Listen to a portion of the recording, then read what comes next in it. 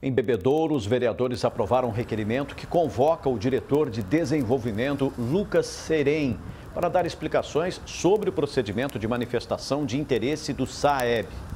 O procedimento visa desenvolver estudos para projeto de concessão ou parceria público-privada da instituição. A presença ainda não foi confirmada.